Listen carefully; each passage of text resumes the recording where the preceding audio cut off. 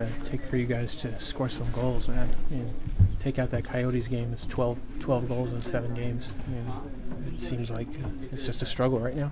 Um, yeah, definitely.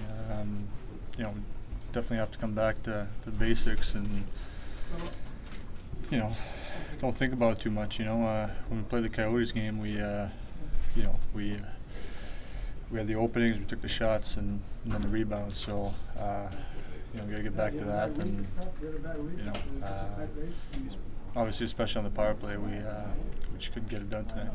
Um, you, what about just giving a full 60-minute effort? Marty was talking about the slow start. I mean, this time of year, and you got Washington coming in Monday. I mean, how important is that?